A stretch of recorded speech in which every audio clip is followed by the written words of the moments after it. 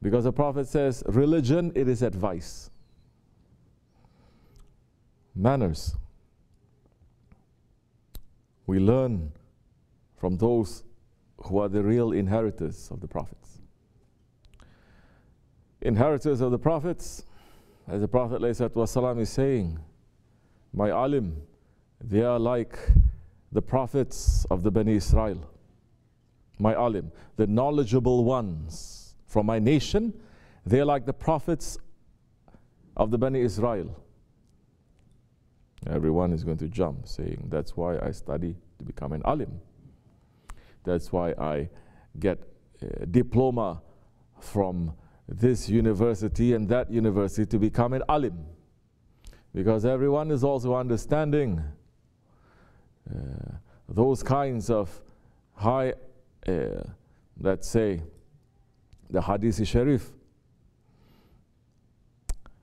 its meanings are endless. Because the Hadith Sharif, its meanings are endless. You can never discover its full meaning. The Prophet may, والسلام, open it. And the meanings will still continue to open even after the Prophet ﷺ is veiled from this world. Those who are his inheritors, they may open it. The meaning of the Hadith Sharif it is not only to be understood just using these eyes and reading and understanding it like that. As the Allah, they are saying, the Ayatul Karima, there are 70,000 oceans of meaning in every ayat, in every huruf, in every letter of the Quran. Because the book, it is a living book. The Quran Karim, it is the mother of all books. Understand what the mother of all books means? It means that all books come from the Quran Karim. our book, the book that we're going to receive, if it's not based on the Quran Karim, if it's not based on that walking Quran, which is the Holy Prophet wasalam. So the meanings are endless. In every moment, it is without a beginning, is without an end. What is necessary, you're going to take from it. Whatever is necessary, not what you're going to take, those ones that they are given that permission, they're going to speak. If it's not necessary, they're not going to speak. People are not ready, they're not going to speak. So, anyway, let's not speak too much about it. The alims of my nation, they're like the prophets of the Bani Israel. Those knowledgeable ones doesn't mean those ones who study in universities or getting a diploma from this or that is meaning those ones we have who has uh, knowledge. Ya alim is one of the names of Allah subhanahu wa ta'ala. So the ones who have knowledge. And the comparison is with the prophets of the Bani Israel. That is key. The prophets of the Bani Israel, they are most well known for their ability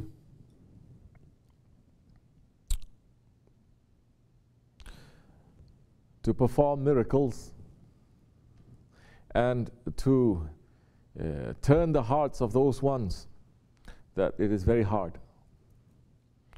They are also known for opening their hands and wishing, asking from Allah, and what is being granted, they ask, it is being granted. So the alims of my nation is not referring to the scholars, especially of the Ahir Zaman, but is referring to those ones who are able to open miracles that they open their hands and their du'as are accepted by Allah subhanahu wa ta'ala. These are the inheritors of the prophets. These are the awliya Allah. And so, what is it that we are looking for in this Akhir Zaman? What is the Eh, sohbat that we're looking for in this Akhir Zaman? What is the knowledge that we must run to get in this end of times? This by itself is a hidden knowledge. It's hidden not because it is so hard to find. It is hidden because the hearts of 21st century man has turned away completely from this kind of spiritual understanding, from this kind of knowledge, from this kind of common sense, because he's still very busy with his dunya and still very busy with the whisperings and the commands of the ego and shaitan that even when they are entering into spiritual ways, they're still looking for means to satisfy the ego and to satisfy their desires. And until this is understood and this is knocked out, they're not going to make too much progress. Because the intention is wrong. We may say we came with the wrong intention. But the intention now, it has to be changed. You must make the intention to become better. Most of us, we say that we are immigrants in this country or in other countries. Immigrants, Muslims. We don't belong here so much because we come from another place. It's okay because you just scratch the surface and you discover that everyone comes from somewhere else and going to somewhere else. And as believers, if you're not understanding that reality, that even if your grandparents and your great grandparents and your ancestors from the time of Hazrat Adam salam was in the same place and you're still in the same place today for over 7,000 years, you are still an immigrant because our home is not in this world. We came from another world. Our great grandfather Adam salam came from another world.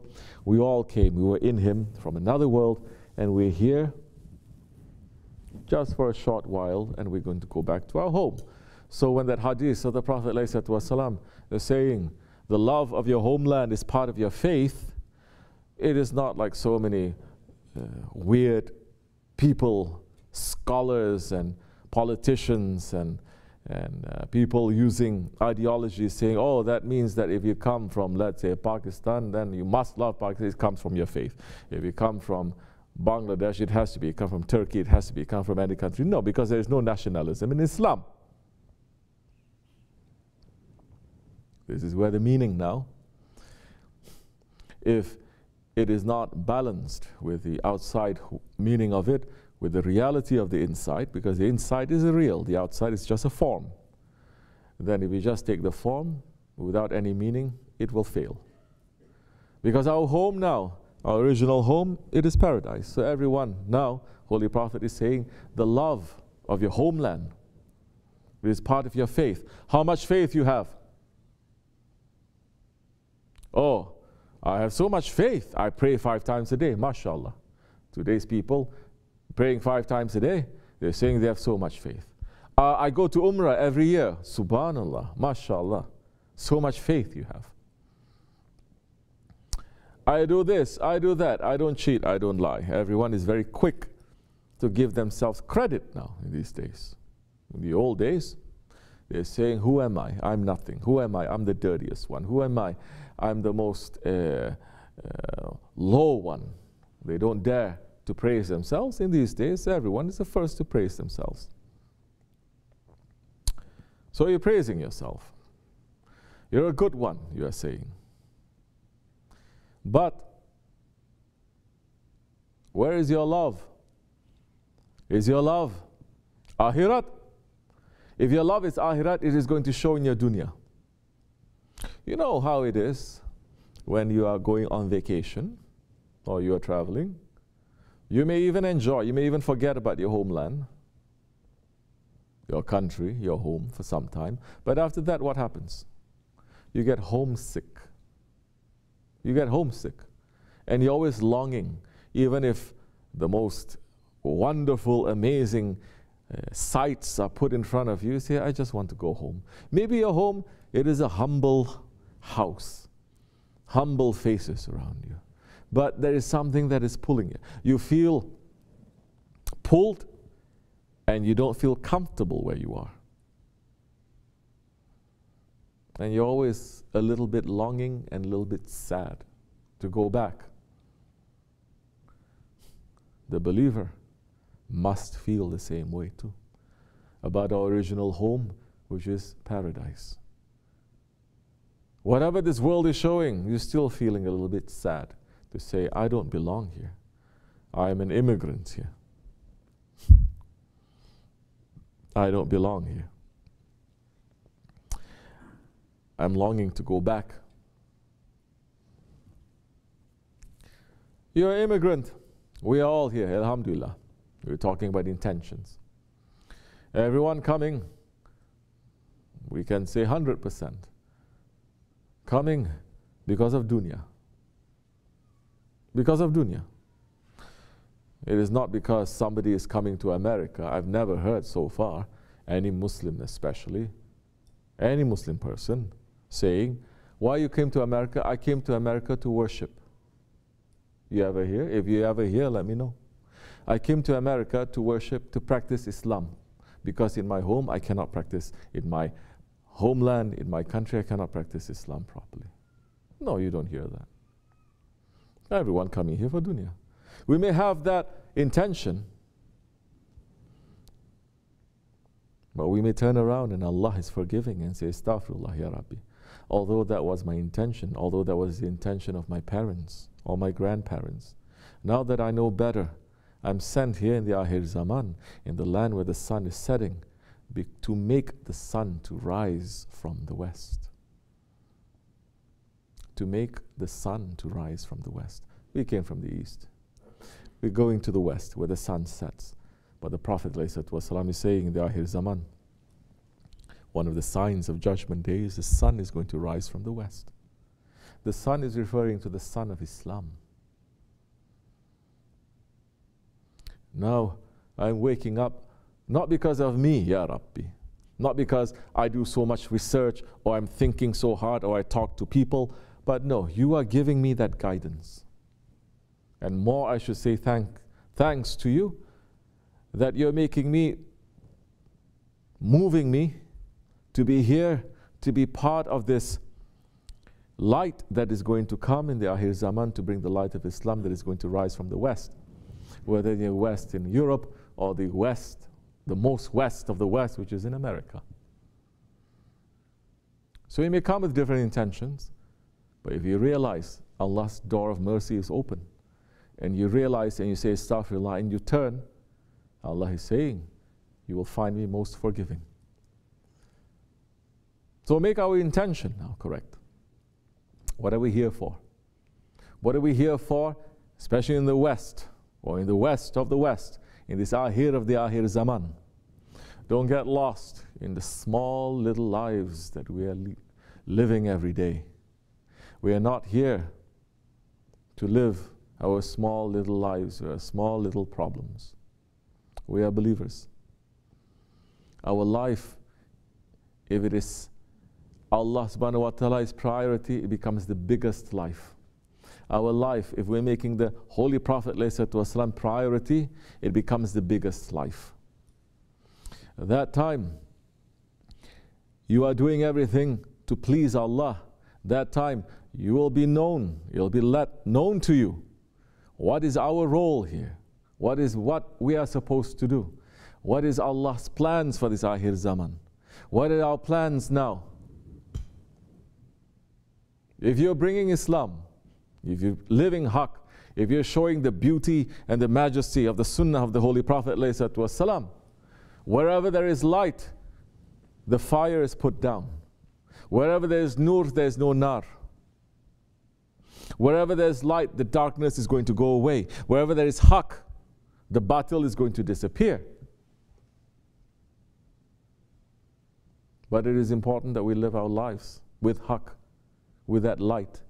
And that light is coming from the Holy Prophet. ﷺ. We're taking that light now through the awliya Allah, His inheritors, who are giving it to us. Now live according to that. Make the biggest of intentions to say, We are here, Ya Rabbi. I'm here. I am worse than that ant with a broken leg that was holding one drop of water who wants to uh, put out the fire of Nemrut that he prepared to burn Ibrahim alayhi salam. I'm worse than that because you have given me more and I cannot even make that intention. My intention is to bring down the darkness, to bring down the kufr, to bring down the oppression, to bring down the zulm, to make that clear in my life, clear in my days, in my weeks, in my years, to tell myself and to live according to that. First, to bring down the darkness inside of me, to make sure that whatever that is inside and around me, it is following the light of the Holy Prophet. ﷺ. Don't start preaching to others. Don't start fighting with others. This is not your way. The candle is not fighting with the darkness. The sun doesn't fight with the darkness, it just appears. From its appearances, the light will go away. You understand? The light goes away, it retreats.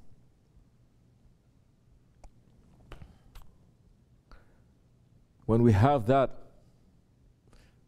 intention very strong, the believer, he cannot be too comfortable in this world looking around to see how dark everything is. He cannot be too comfortable even when comfort is given to him. And the believer now will run. What is he going to run for? He's going to run to live the lives of the prophets. He's going to run in their footsteps. And he's going to take the examples of the prophets and their lives and the challenges that they had, and he's going to see, yes, I recognize there is an Abu Jahil. I recognize there's an Abu Lahab. I recognize that there is a Firaun. I'm representing now. Which one you want to represent? You can represent Firaun too. You can represent Nemrut too. Don't. Don't support that. Stand up and say, as much as I can, I want to walk in the way of Ibrahim alayhi salam. I want to walk in the way of Musa alayhi salam. I want to walk in the way of Isa alayhi salam. And I want to walk in the way of the Holy Prophet alayhi salam. But understand that every day that these prophets are going through, they are fighting. They are struggling. They are struggling against the battle that is around them. So look to your lives. What are your struggles? What are your struggles? What are your fears? What are your hopes? Sit. Don't let anyone to tell anything to you. Sit by yourself quietly and say, today, what was I worrying about mostly? Is it akhirat or is it dunya? Is it myself or is it others? Is it my work or is it Allah? The answer will come straight away to you. You will know. You don't need any book or any guide to tell you that time. Just to be sincere with yourself. Now, if you say, I'm living for the sake of Allah and I'm helping, and this, you must have your proof. Then run, be happy. To know it is not you again. It is because Allah is sending that strength to you to be able to live that way in the Akhir Zaman. Don't take credit for yourself. If you're sitting down and you say, I'm doing, but I'm not doing enough, that's even better. Because the believers tomorrow has to be better than today. The believers today must be better than yesterday, and his tomorrow has to be better than today. So the believer is never satisfied with himself when he does something for the sake of Allah. So that one who is never satisfied, you think that one can give credit to himself? Hmm?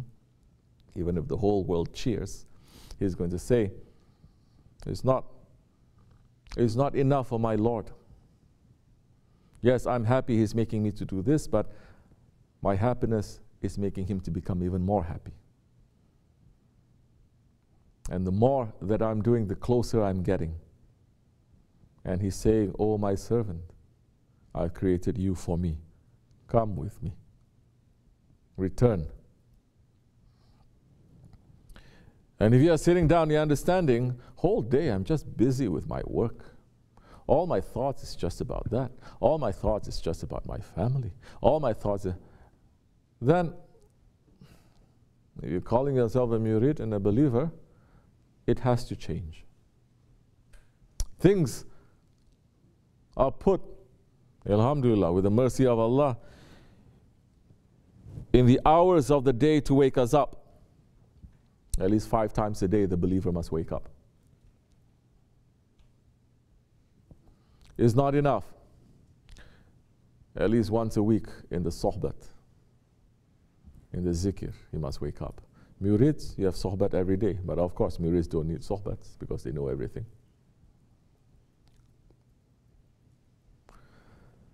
The Jummah is supposed to wake up to listen to the khutbah. Holy days and nights that are entering should wake him up even more. Now you must feel, especially with the holy months that are approaching, you must feel even more pulled towards what? Towards the akhirat. To say, I need to take a break from this world. I need to take a break from doing everything that I'm doing. I need to pull myself more. I need to seclude myself more. I need to worship more. I need to be with my Lord more. I need to look at myself more. I need to be very careful what I do and careful what I think and careful about my intentions more.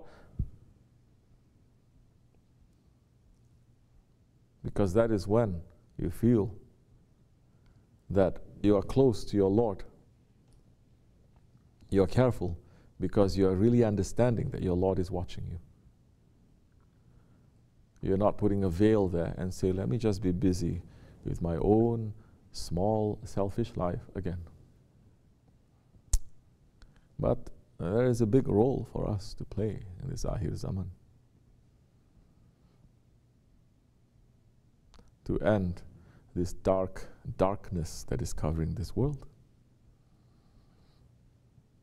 Don't think that you're going to fight with people. Don't think that you are going to be uh, going into battle with people. It is not this completely. No.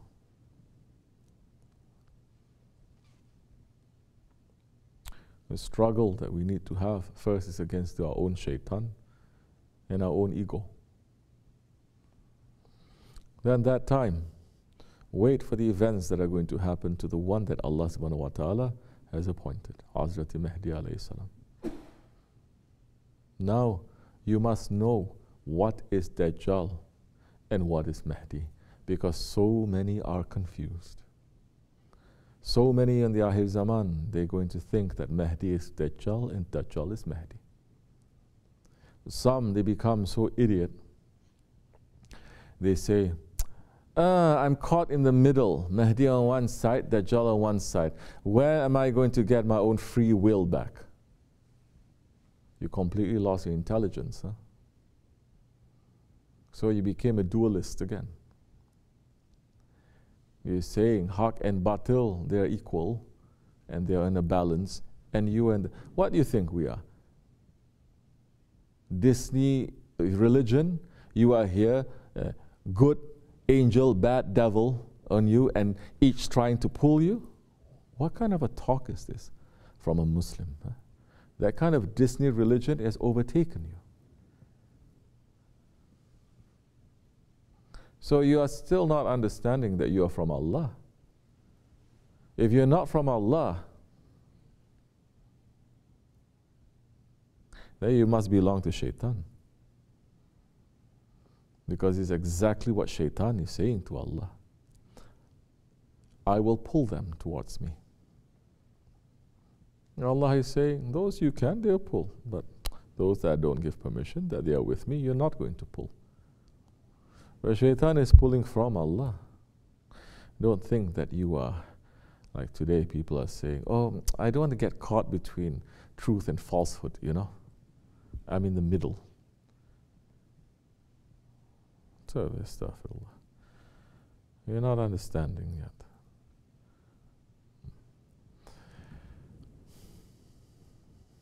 Wake up. Don't get drunk. Understand where are the tricks and the traps of your ego. Where are the tricks and the traps of how your ego is making you to think, to say, to feel. Pull away from that. Walking in the footsteps of the prophets. Just ask yourself, Awliya Allah is speaking like this? Are they thinking like this? Are the prophets thinking like this? No. If they're not, definitely it's coming from shaitan. Stay away from that. It is very simple. Hmm. Our brothers just gave the Dargah uh, nice calligraphy. And it's a calligraphy with the words itself, which I've given sohbat for so many times. It's very important. It's saying the head or the beginning of all knowledge, it is the fear of Allah. Now, this is something precisely I've spoken some months ago. Everyone has lost the fear of Allah.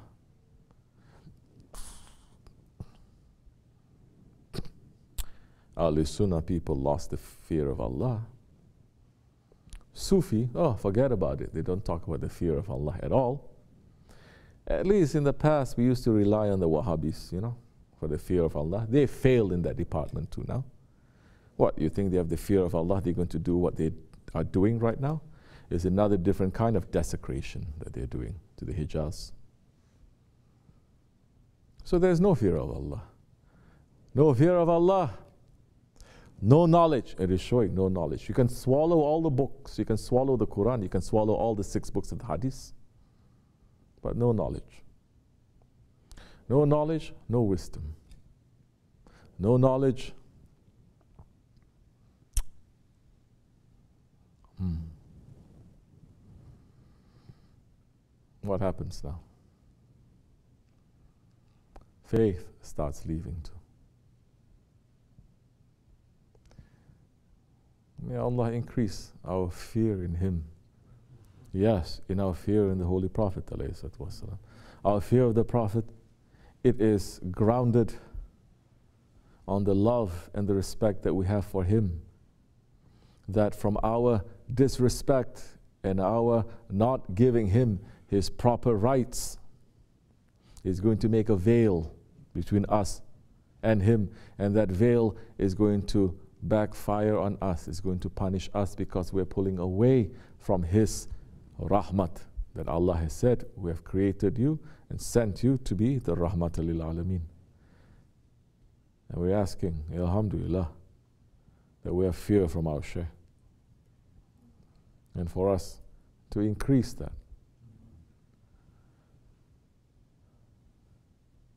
May Allah forgive me and bless you. May Allah keep us in safety, inshallah.